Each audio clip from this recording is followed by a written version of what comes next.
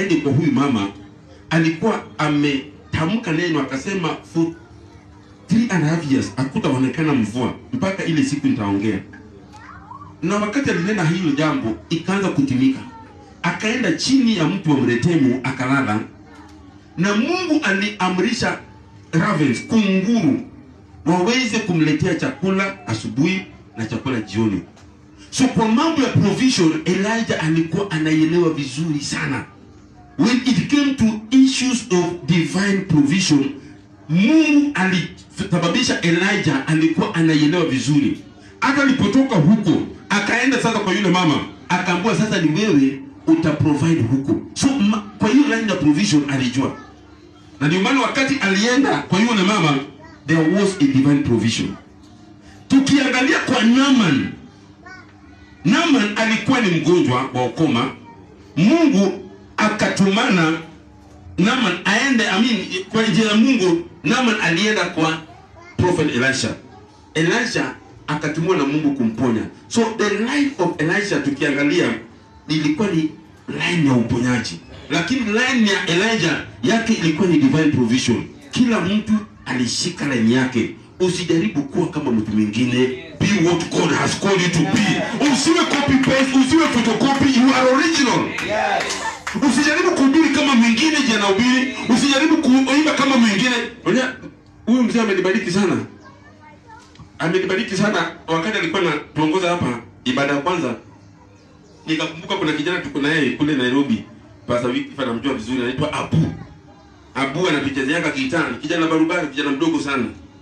Huyu kijana kuna style yake ya kudansi eh, kuna vile anadansingi inanibamba inanifurahisha siku moja tukiwa kwa ibada ikawa all tulikuwa na yeye hapo chini. My friend nilikatika kama yeye tulikatika ni kweli tulikatika lakini kutoka hapo my friend si kulala tangu siku hiyo sijawahi jaribu hiyo style. Hiyo ni yake. Nikajaribu kujiingiza kwa hiyo style yake my friend niliumwa na mgongo hapa. Sijawahi jaribu So run your own race, be yourself, do what God has called you to do. Acha huyu mwingine afanye yake, mtapelekana vizuri na Mungu. Elijah alipitia njia yake ya divine provision, akapenya hivyo. Huyo mwingine kwa upande wa uponyaji akapenya hivyo. Unajua Mungu anapeana gifts tofauti tofauti. Kuna wale ambao wakishika microphone wafundishe mambo ya relationship na ndoa. My friend, watu wataoana hapa one year wote na kuna mwingine akihubiri mambo ya kutoa utabaki na viatu watu waende na soksi so kila mtu akuna lani yake. Kuna wale ambao wana- wa- wamepakwa kuombea watu ambao wako na ukimwi. Akimguza tu hata asipomguza wanapona. So bora tu uelewe lani yako ni gani and then you will perform best.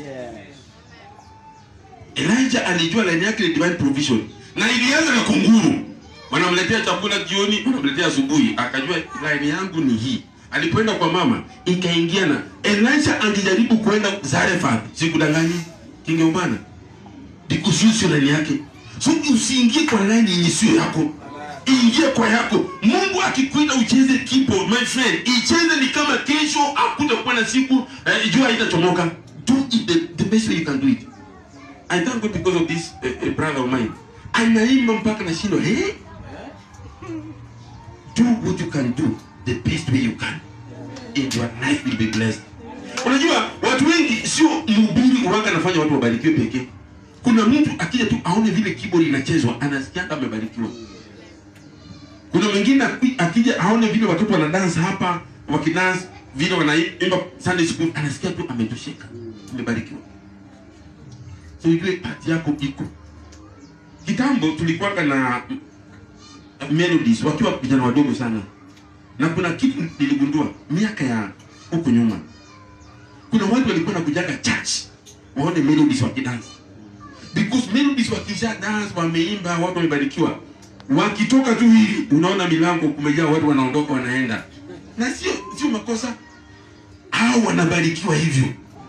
So ujue hata kama wewe ni asha kuna mtu akikuona tu umesimama unamkaribisha karibu kiti karibu hiyo tu peke yake anasikianga amebariki. So do your part and you will bless somebody's life. Today we have learned ya kwamba if you want to be successful change somebody's life. You will become successful. Tusiwe na uchoyo ya kwamba ni mimi na ni mimi na ni mimi. Kwanza nimefurahia sana vile nimeona pasa nawapatia mpaka everybody opportunity to. That is good. And that is what brings growth. Hapo unaweza pata kama within a period of one year watu wamejaa hapa na hata mabaraja zingine itabidi utafungua hata huku mashinani. In jesus name. Amen. piga yesu makofi mazuri. Amen. Mimi nataka nimalizie nikisema hivi. Yesu wakati alitaja elijah the prophet na akasema kule Zarephath kulikuwa na mwanamke mmoja ambaye nabii Elijah alitumika kubadilisha maisha yake. Akaja akataja tena ya kwamba kunaye aliyekuwa commander in chief anaitwa Naaman wa kutoka Syria, ambaye pia aliombewa na prophet Elisha na akapona. Jesus was talking about people that were before him as a human being now alikuwa before them because alisema before abraham was i am hiyo kitu ilinisumbua. Hiyo kizungu ilinisumbua. Kitambo nielewe. Ati before abraham was i am. Wakati aliambiwa ya kwamba ai unaongea nini? Ibrahimu baba yetu tunajua ibrahimu baba yetu. Wewe unatuambia ibrahimu baba yetu. Na wewe umezaliwa ibrahimu hata tukumwona lakini baba yetu. Akasema before abraham was I am. Not I was. Before Abraham was, I am. It means Abraham, wakati wa Abraham alikuwa, yupo na bado ataendelea kuwa. So alikuwa wakati wa kina nabii Elijah, lakini kuzaliwa wakati alichukua mwili wa mwanadamu na damu na nyama, kama vile Biblia inatuambia, ilifanyika several years later on. Kwa hivyo wale walimtangulia kama mwanadamu sasa, bila alikuwa anaitwa son of man.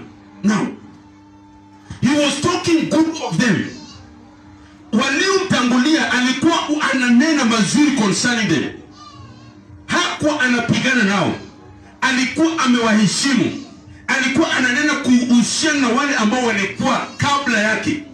Anasema kwamba in the days of Naaman, uh, the days of Elijah the prophet there were many widows in Israel. Na Elijah kama nabii kuna jambo alifanya nzuri sana Zarephath akafanya mama mpaka maisha yake yakabadilika na wakati wa ama nyakati za Elijah nabii pia kuna jamaa mmoja ambaye alikuwa ni commander of the army ambaye alipona ukoma. He was talking of the good that those people did. He was talking of how his predecessors if i may put it that way were doing. If you want your life let me tell you for a truth today. If you want your life to surpass every other person's life. Talk good of those people that were before you. Heshimu wazazi wako wa kiroho nyinyi ambao mko hapa mzazi wenu ndio huyu Pastor Morris unapomheshimu na wewe utaheshimika. What you sow is what you will reap. Ukipanda maragwe hauwezi ukavuna mahindi. Ukipanda miwa hauwezi ukavuna ngano. Chenye umepanda ndio unavuna. Lakini we learn from jesus he talked good of Nabi elijah. He talked good of Nabi elisha because they were before him. Na ndio na yeye three and a half years only here on earth alipindua dunia juu chini. It's not a matter of years. It is. Ile heshima uko nayo kwa waliokutangulia ndio itafanya maisha yako iende the next level. Kuna watu walifungua makanisa wamaliza miaka hata ishirini na kitu lakini utapata kanisa hii ni kubwa kuliko kuna kosa. Kuna makosa mahali. Kuna wachungaji wengi sana ambao walitusi wakamtukana wakamdharau our dan askofu Pius Mwiru and today they are struggling in life because they did not honor the anointed that was before them. The people that honor Bishop Pius Mwiru I tell you of a truth those people their lives are never the same. Their ministries zimeenda juu kwa ajili ya kuheshimu mafuta. Kuna wale ambao wanaonanga kimeumana ama kitumbukia kime kitumbua kime ki- kimeingia mchanga eh? wakati mambo yameharibika ndio wanakimbia wana, wanaomba huyu leo oh, eh, bishop tuombe tuombee tulifanya hivi na hivi na hivi. Alafu naona hao wazazi wetu wako na they have a big heart wanasameheana President, na unapata wamerudi line na maisha yao yanaboreka. Heshimu waliokutangulia. Heshimu wale wako mbele yako na maisha yako yatachukua mkondo mpya in Jesus mighty name. Amen. Piga Yesu makofi mazuri. Nataka nimalize hivi tukiomba.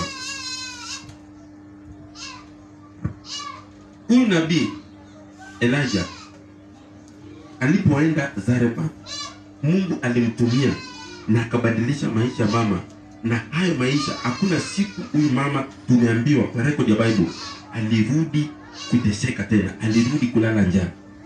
Tukiangalia maisha ya Naaman the Syrian, Naaman hakuwahi rudiwa na ukoma. What took place in Naaman's life, it was permanent. What took place in the widow's life was also permanent. Mimi nataka tumalize kwa kuomba na kuamini Mungu ya kwamba what is going to do in our life is going to be permanent. It's going to be permanent in Jesus name. Kuna watu mlikuwa mkiteseka mkitafuta kazi, yaani ukipata kazi unakaa miezi mitatu, kazi imeisha, unapata nyingine, unafanya miezi miwili, imeisha. I want us to pray and believe God that this wonderful day, kutoka leo, chochote ambacho kitawekelewa mikononi mwako, it is going to be permanent in Jesus name. Some of you watching me right now, some of you listening to me right now, umekuwa in relationship one after the other, inaenda mwaka haiishi, inavunjika, unaingia relationship ingine ina ha- ha- haiishi, hakuna ndoa inafika. But we are going to believe God that whatever is going to happen from this moment, it's going to be permanent in Jesus name. Kama ni relationship ni ile itafikia kwa ndoa, kama ni kazi unaenda kuajiriwa permanent, kama ni biashara sio kufurushwa kama hawkers. Mungu akupatie mahali pako permanent ya kuweka biashara yako na maisha yako yabadilike for good in Jesus name.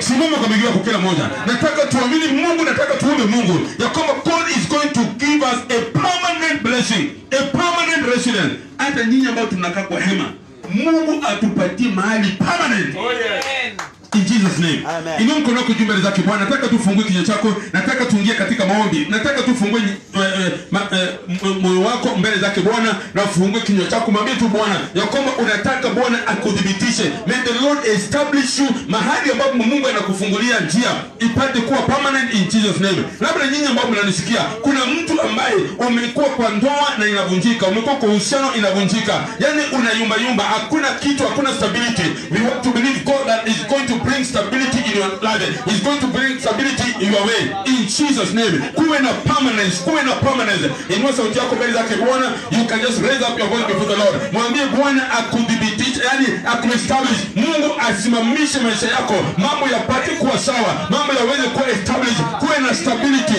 Hiyo ndoa iweze kuwa stable, hiyo biashara iweze kuwa stable, maisha yake yaweze kuwa stable. Hakuna mahali tulisikia ya kwamba huyu mama aliweza kurudi kuwa na ukome tena, aliweza kurudi kukosa chakula tena, maisha yake yalibadilika for good. There was a divine provision. Father, in the mighty name of Jesus Christ, we want to believe this wonderful day that you are going to bring permanence in our life. We are going to be stable. The Bible says that believe in the Lord your God, so shall you be established. We are believing in you, O Lord. We are believing in you that we are going to be established. Our marriages are going to be established. Our lives are going to be established. Our ministries are going to be established. We are trusting you for establishment. Kwa jina la Yesu Kristo, kuna watu wanahitaji establishment. Wengine hata mahali ambapo wanakaa, wanakaa na hawajui jinsi ambavyo wataweza kulipa kodi ya nyumba, maana biashara imeenda chini, maana kazi yenyewe hakuna, maana mapato yale ni madogo sana. Lakini Bwana, tunaamini kwamba you are going to establish them, you are going to establish them, you are going to establish them, you are going to establish them in the name of Jesus. Inua sauti yako mbele zake Bwana, mwambie Bwana aweze kukuestablish hiyo sauti yako mbele za bwana. Just tell the lord that lord i need to be established. I need to be established. I need establishment in my life. The woman of zarephath was established. The, uh, the, the commander of the army Naaman the syrian alikuwa established headwise maisha yake ya kiafya yalibadilika. Hakuna siku alienda tena kuenda kubadilisha nguo kwa ajili ya vidonda mambo yake yalibadilika. Baba katika jina la yesu kristo kuna mambo tunaamini ya kwamba yanaenda kubadilika in our lives. Kuna mambo yetu Joel Jehova unaenda kuyabadilisha even for our good. In Jesus mighty name we are believing and we are trusting you for establishment for establishment for establishment for establishment for establishment. In Jesus mighty name Jehova tunaamini kwamba Bwana vile tumekutanika mahali hapa Bwana kuna wakati kila mmoja atakuwa na testimony ya kwamba uliweza kumfanya akawa stable. Uliweza kumwonekania maisha yake akawa stable. Kwa jina la Yesu Kristo kuna wengine some of us we are living from hand to mouth. Even about tomorrow we are not aware of. But Lord you are going to establish us even financially. You are going to economically empower our lives. In Jesus mighty name. Kuna wale ambao kifedha wamepata changamoto nyingi. Tunaomba Bwana majeshi kwa upande na masuala ya kifedha ukaweze mfalme wa ajabu kuwadhibitisha na kuwapatia stability. In Jesus name may you economically empower them. Wengine wanaendeleza biashara hapa na pale lakini biashara ni mapato ni madogo sana. Bwana ukapate kuwakumbuka Bwana ili mapato yao yaongezeke. Wengine fanya mishara yao yaongezeke. Wengine Bwana maisha yao yapata kuboreka. Kwa jina la Yesu Kristo. Kwa jina la Yesu Kristo. Kwa jina la Yesu Kristo. Kwa jina la Yesu Kristo. Ina mkono wako juu mbele zake Bwana kila mmoja popote ulipo Baba wa rehema, katika jina la Yesu Kristo tunakuamini, tunakuambia ni asante. Jina lako likapate kuinuliwa, jina lako likapate kuabudiwa. Wewe umetuita kila mmoja na njia zake. Kuna wale wananitazama, mfalme, umewaita Bwana katika huduma kwa njia mbalimbali. Ninaomba ya kwamba Bwana, kila mmoja tutashika laini yetu kama vile Elijah alishika laini yake Bwana, ya kwamba wa upande wa provision, hiyo ndio laini yake, na alienda hivyo mpaka Zarephath, ilikuwa inamwandama tu provision.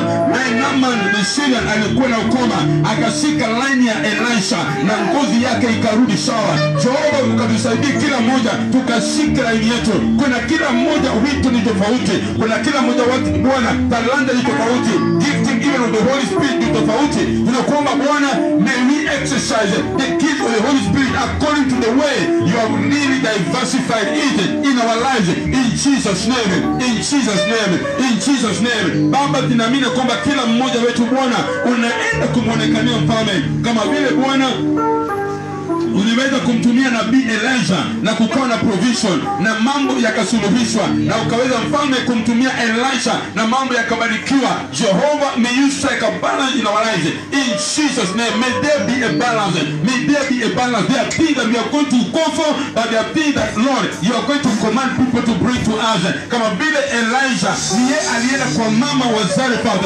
lakini Elisha nama ndiye alikuja kwake. Kuna wale watu ambao Bwana wako na baraka zetu. Kuna wale ambao utatuongoza, tutaziendea baraka kule waliko, lakini pia kuna wale Jehova, tunaamini utawakuza hao wenyewe, watajileta kama Naaman, walete baraka kwetu, kama vile mamajuzi kutoka mashariki. Hao ndio walitoka mashariki, wakaenda moja kwa moja mpaka Bethlehem, wakipeleka mani, wakipeleka dhahabu, wakipeleka manemane. Hao ndio walileta, lakini kuna baraka zingine tutaendea kuanzia siku ya leo. Bwana, tunatangaza kuna baraka tunaziendea, kuna baraka tunaziendea na kuna zingine wewe mwenyewe Jehova utaziamrisha tuletewe kwa jina la Yesu Kristo, kwa jina la Yesu Kristo. Baba, tunasema ni asante. We give you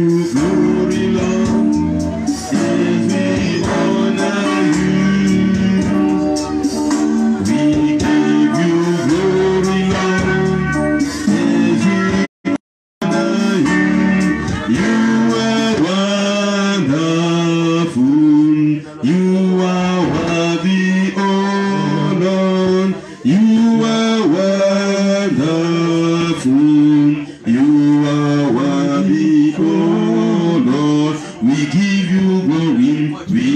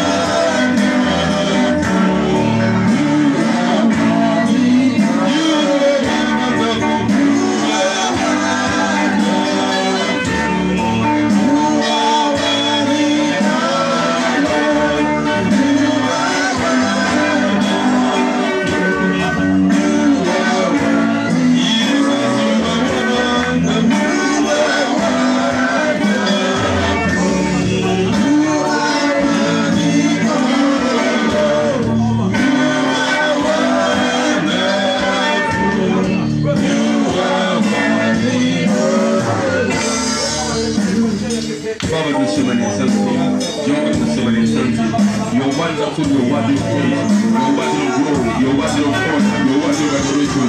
Hakuna Mungu kama wewe. Hakuna nguvu kama zako Jehova. Hakuna neema kama yako Mfalme. Jina lako likapate kutukuka Bwana. The Bible says during the tenure of Elijah the prophet,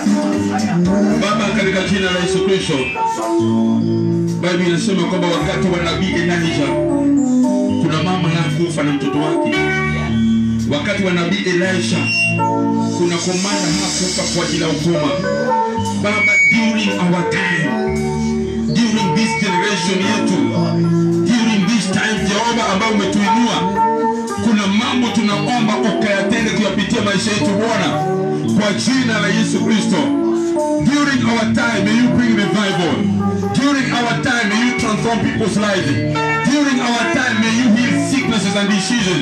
During our time, may you make a provision for your people. During our time, Lord, may you manifest your power. In the name of Jesus. In the name of Jesus. Kuna mtu kuna mtu mwenye ako na shida ya ngozi kama na labda ni wewe ama kuna mgonjwa, inaweza kuwa ni mama yako, inaweza kuwa ni baba yako, mama yako. There is someone that has got a dreaded skin disease.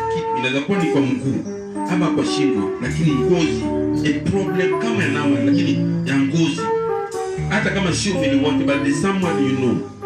I want to pray with you. Anybody you know akuna shida ama ugonjwa wa ngozi kwa shingo, kwa mgongo, kwa mguu, inaweza kuwa sehemu tu, lakini I dreaded skin disease imejaribiwa kutibiwa, imeshindikana. Let's pray. Labda kwa Facebook, kila mmoja inua mkono juu, we pray.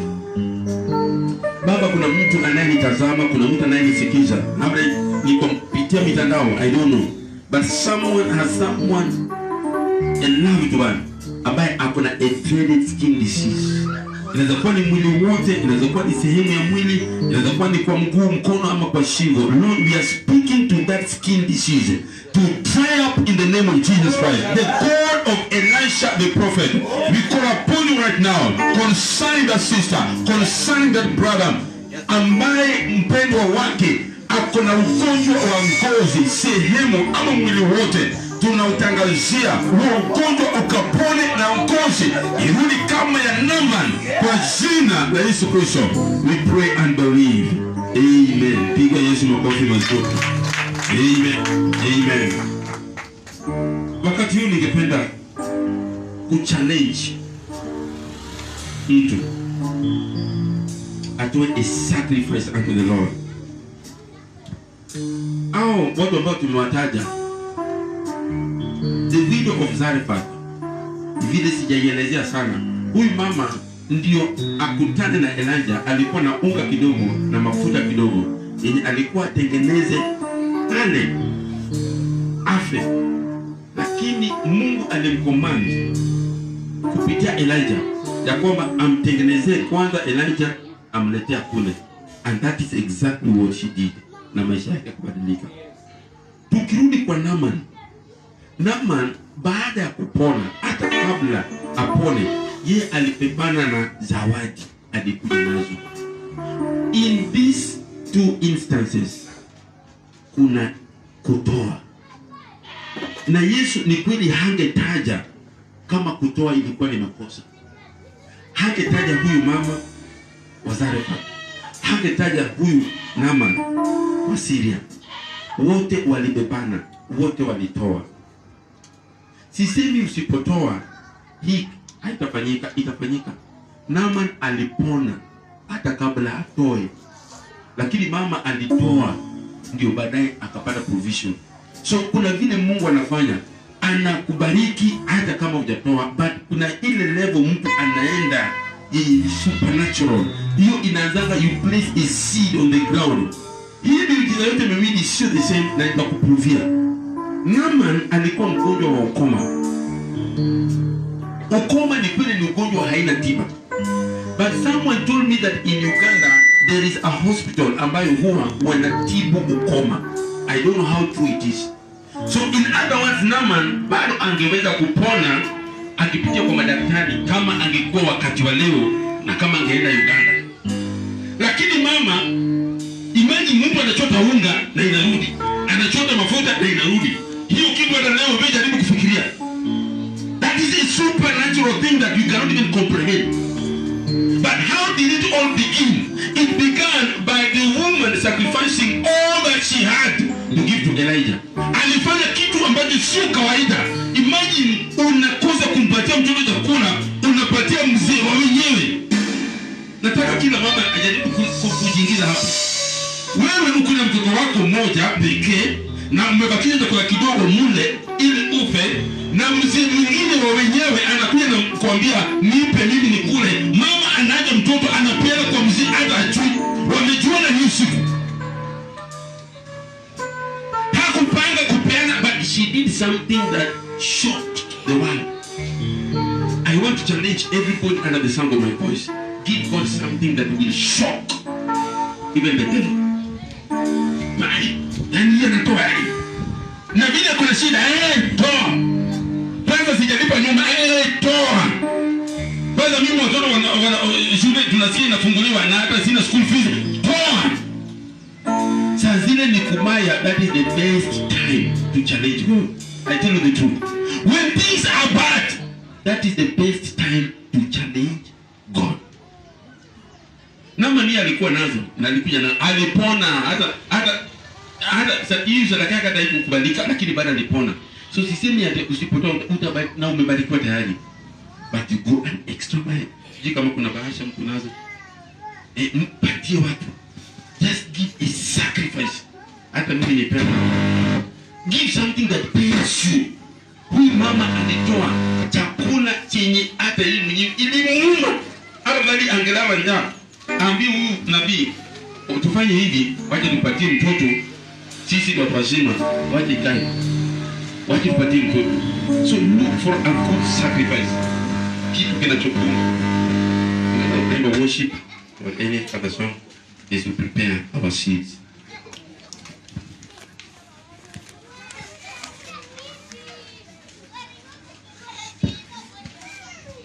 Na hii bahasha naona iko mpaka na namba za simu. Unaweza kuwa uko nayo kwa mpesa. Tumia hizo namba kwa bahasha uweze kutoa hiyo sacrifice yako. I want you to do something that pains you. Inaweza kuwa hauna. I want you to make a pledge between you and god. Hata pastor Morris asijue. Umwambie mungu mimi hii sandi inakuja. Hizi elfu tatu nitaleta. Wewe na mungu mjiongeleshe tu. Hii elfu moja nitaleta. Mimi mimi between now and sunday hii mia saba mimi nitaleta hapa make it between you and god and god is going to bless you hatujui tutarudi kisumu lini lakini labda hili neno nimekuachilia na hii challenge nimekupatia itabadilisha maisha yako. Remember, huyu mama hakuwahi kufa njaa, hakuwahi kufa kwa ajili ya kukosa chakula. Her life was transformed for good. What you are doing right now will be the turning ya kwamba hii ndio mwisho wa maisha yako wewe. Ile sadaka yako juu, inua your sacrifice juu. Kama ni bahasha umechukua empty, inua hata kama ni empty, utaileta vile Mungu atakupatia. Inua juu.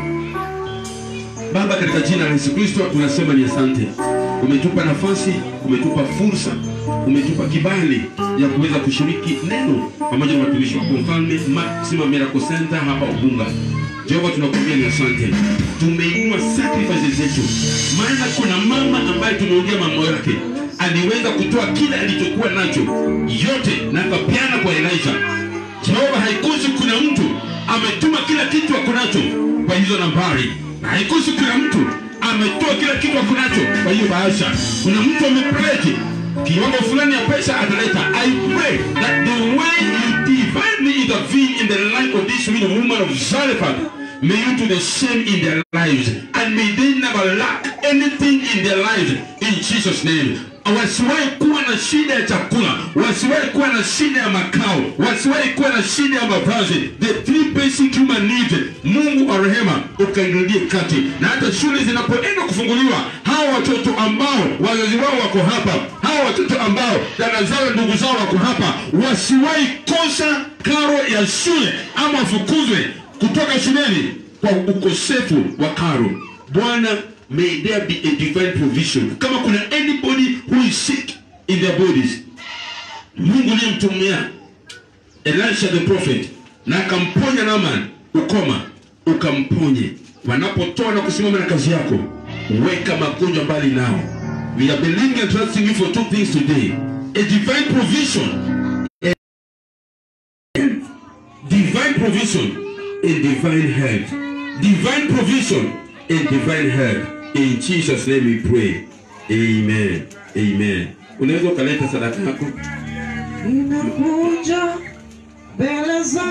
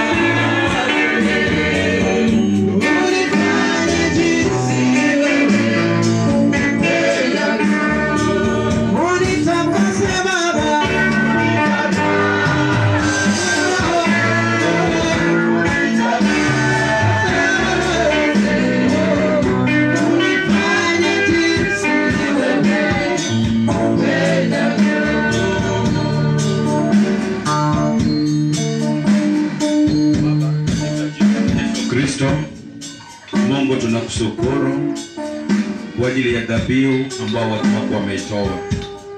Kupitia hiyo dhabihu, Jehova, fungua mamilango zao, kila milango ambayo tunalifunga mbele yao Jehova ikapata kufunguka katika jina la Yesu Kristo. Asante sana kwa neno ambalo tumeipokea. Mungu, bado tunakutumaini. Mungu, bado tunakutegemea. Hakuna Mungu mwingine aliye kama wewe. Wewe ni Mungu wa baraka katika maisha yetu. Asante sana kwa hilo neno. Mungu, ninaomba hilo neno ikabadilishe maisha yetu, ili tunapokuwa katika ema yako, katika nyumba yako, kila mtu ajue sehemu yake ya kumtumikia Jehova. Asante sana kwa neema na kibali ambao umetupa Jehova. Tunapoendelea, ninaomba ukapate kwa pamoja nasi, ni katika jina la Yesu Kristo nimeomba na nikiamini, amen. Msitoke. Bwana asifiwe sana. Vile tumesimama hivyo, nimeshukuru Mungu sana kwa neno hilo, imekuwa ni ya baraka na kwa wale ambao wanatazama kwenye mtandaoni kwenye Facebook, ninataka niwakaribishe katika revival yetu. Itaanza saa kumi hadi saa kumi na moja na nusu na itakuwa ni ya baraka sana. Ninakuuliza tu popote ulipo, ukifika saa kumi jiunga pamoja nasi kwenye mtandaoni, na itakuwa ni ya baraka. Ninamuunga ameleta watumishi wake ambapo watatumika mali hapa, na ninaamini ya kwamba watu watabarikiwa. Kwa hivyo Mungu awabariki, Mungu awatendee mwema. Tukutane saa kumi kwa neema ya Bwana. Kama umepata ile jumbe, ungependa kutoa dhabihu yako, kuna namba ambayo unaweza kuituma. Kama uko mbali ya yuko pamoja nasi ni 0718 398 467 that is my church number but imekuwa registered na jina langu kama mchungaji, kwa sababu kwa Safaricom hatungeweza kuregister namba na namba ya na jina ya church, but tulifanya hivyo, but hivi karibu tutakuwa na till namba. So kama uko mbali na ungeguswa na neno, ungeweza kutuma, ukitumia hiyo namba itakuwa ni ya baraka. Mungu akubariki na Mungu akoti awatie nguvu katika jina la Yesu Kristo. Tukutane saa kumi kwa revival meeting, itakuwa ni ya baraka. Don't miss, ubarikiwe sana. Amen. Bwana Yesu asifiwe. Na ninashukuru Mungu